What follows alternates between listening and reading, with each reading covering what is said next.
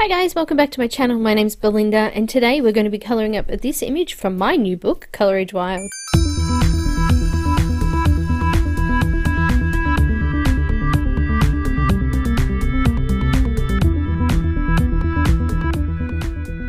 So guys, I ordered this one from uh, the Cool Craft Book Etsy website uh, and it came within nine days of her posting it. Uh, really great uh, Etsy shop and I was really impressed. So I'll just show you here. Um, I've given them a five star for both of the books, but they've got loads of Asian colouring books, um, Chinese, Japanese, Korean, uh, anything you can imagine in there. So it was a great store. They delivered to Australia, which is why I did it. Um, I haven't been able to get many of these uh, Asian books from overseas to Australia because now they've blocked off Amazon America, so we can't order from Amazon anymore.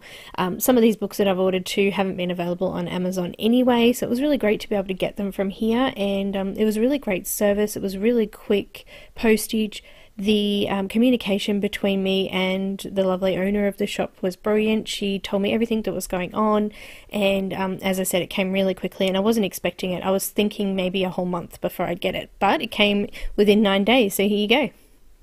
So um, the first book that I actually got, I actually got two in that order. I'll do the other flip through later on, uh, so look out for that on my channel.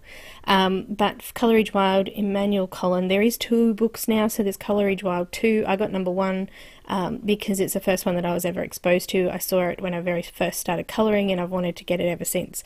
Now the book size is around 20 centimetres by 20 centimetres. I just wanted to measure it because it doesn't actually say. It's got 250G on the front there. I think that may refer to the um, grams of the paper possibly. I'm not sure.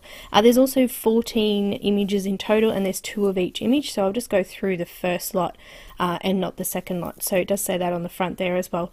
So it was a little bit smaller than I was expecting, but it's still just beautiful. The paper is really, really thick, and um, the purpose of the uh, speed sort of colouring at the end is me going through every single um, medium that I had, pencils, marker, etc. Uh, the only thing I didn't try was anything with water, um, but oh, actually, no, I did try that. Actually, I did that on the hair, so um, I did give it all a try, and all of it was fantastic. So I was extremely pleased and impressed with the paper quality on this one.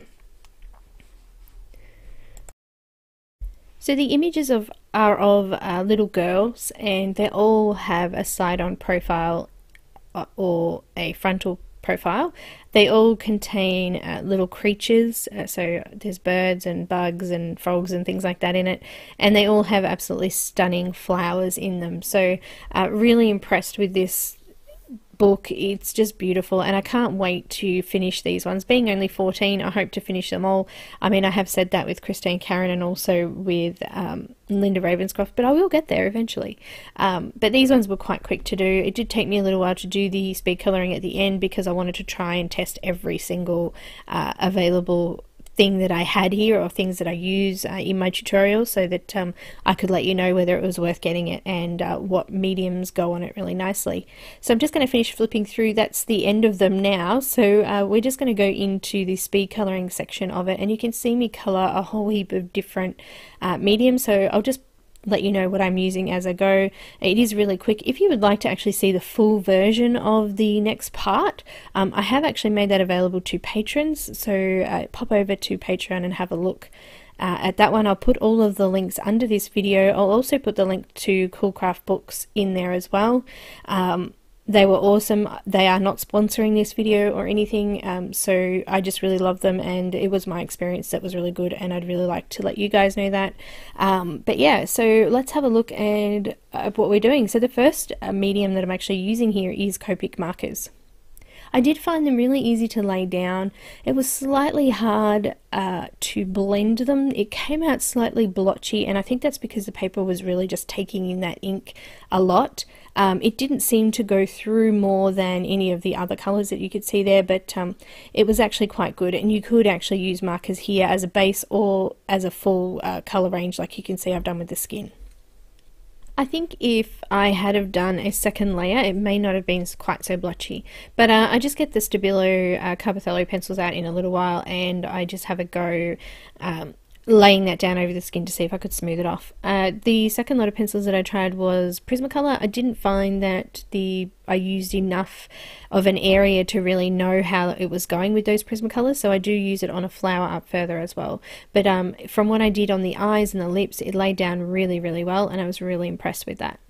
So um, I'm going to go ahead and do Prismacolor on the this green leaf here and I will uh, maybe use it on a flower as well later on. But um, it laid down really nicely. You can see the colors really nice and bright. Um, the tooth of the paper was quite toothy but it uh, flattened out really well. There was no sort of issues with wax bloom or anything like that. But as I said it was a very tiny picture but they all are. So um, there's not a sort of lot of area to really do large areas apart from the background section so um, but I really did like it. I'm using polychromos pencils here now. They laid down really well too. Just looked at my Pinterest pictures to see what sort of colors to use for the lilies. Um, I'm using polychromos still for this first flower. It came out stunning. Uh, it was really bright smooth uh, beautiful. I also used the Caran d'Ache uh, full blender on this and uh, it worked fine on there as well. It helped flatten out the tooth and brighten up the colour in the images. Um, so yeah, Polychromos was definitely a big go ahead for me and um, I would all probably love to continue to use just the Polychromos in this one, um, but obviously I'm going to use a couple more types, so we'll see uh, what ends up being the best. I also used the Caran d'Ache Luminance white on top of the coloured pencil and it laid down perfectly. Um, it was very similar to the way the Prismacolors did, so I think Caran d'Ache Luminance is going to be fine on it as well. Um, it was really impressive actually. Every single medium that I started to add in uh, laid down really well and worked really well, so I was actually really quite impressed with this paper. It reminds me a lot of the Linda Raven Ravenscroft book paper, um, except it's the other paper that I was just saying, uh, that's actually a little bit more shiny. This one didn't have a shine on it. It's actually smooth but not shiny, so it is a matte surface, but um, still got a bit of a tooth on it, which was good. Uh, it means that all of these pencils laid down really well. Um, but yeah, really great. Loved it.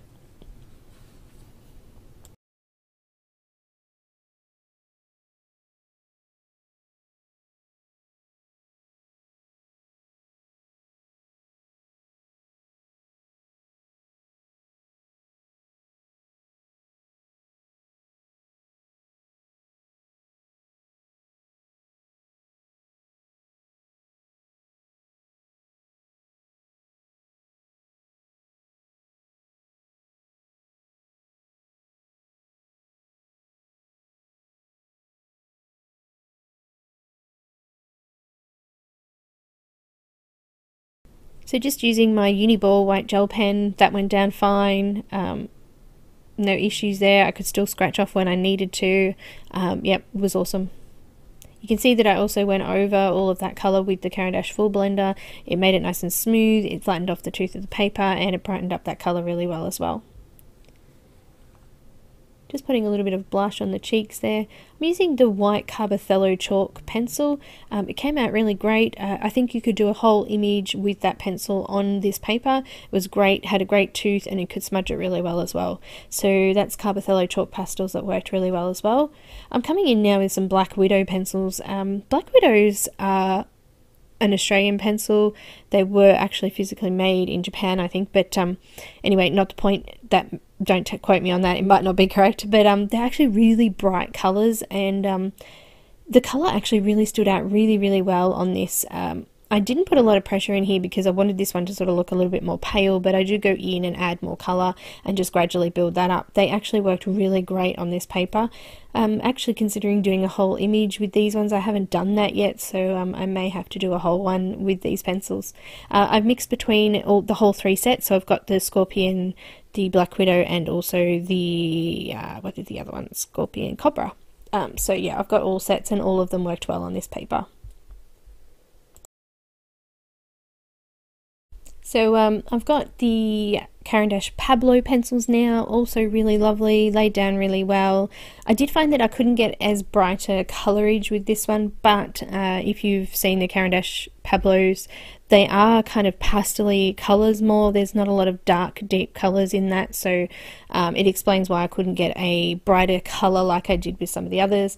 Um, and I think that was about it. So I couldn't sort of lay as much down in this one. I did try to do some more layering, but um, the pencil just didn't want to go down uh, any more than what I did. So um, I just sort of go in with that that really darker pink there and just try to brighten that up a little bit more. Um, it uh, still went down fine, and uh, I still love the way that they came out, and the same with all of the other pencils.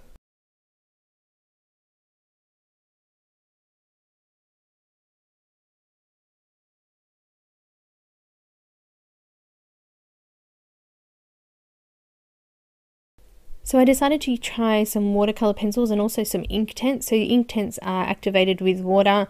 Um, they were all really good. The only place where I felt that it was a little bit funny was uh, where the actual marker overlapped the hair. Uh, the water didn't seem to want to go very well on that section, but obviously, if you're doing an image, you probably won't be using a bit of both. Um, but yeah, you can kind of see around her ear and at the back of the ear, the paper looks slightly different there. It didn't dry off as quickly, and it's probably because that alcohol marker was down there first. Um, but that was the only thing that I found I had trouble with. Everything else went down really well. There was no buckling, no uh, paper peeling, nothing. It was just beautiful. Went down fine. The water went on fine. Uh, it dried off quite quickly, and um, I was really impressed with it. I use the uh, the um, Faber-Castell Albert Dürer Dura, is that how you say it? Uh, on there as well. It went down fine over the top of the Inktense. It was perfect. And the last thing that I'm using now is the pan pastels. So I'm just using a sponge to pop this on with. First time I used the um, pan pastels on a full image. Uh, came out beautiful. It was smooth. Um, the paper just took it really well. There was no smudging or bunching on anything, um, and I really loved it. So overall, this book is fabulous. The paper's fabulous. Everything's fabulous. You could use anything in it, and I think you'll be right. So guys, I hope you enjoyed this video. If you haven't subscribed, please do so. Click on the little bell if you want notifications when I upload new videos. Also follow me on Instagram, Twitter, Facebook, and Vero. Bye guys.